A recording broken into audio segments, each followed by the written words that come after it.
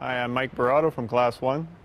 I started 22 years ago in service, where I went around from room to room servicing all the medical gas outlets in the hospitals. Now I'm building an entire hospital from scratch, and it's going to be a very satisfying experience. You become a part of the company, you're not just an employee number. You, you give a little more, a little extra, usually working in your community hospital or surrounding communities. And this is what I've worked my whole career to get to the top of my trade, and I'm pretty much here now. At the end of the day, it feels like you're actually doing something to help society a bit.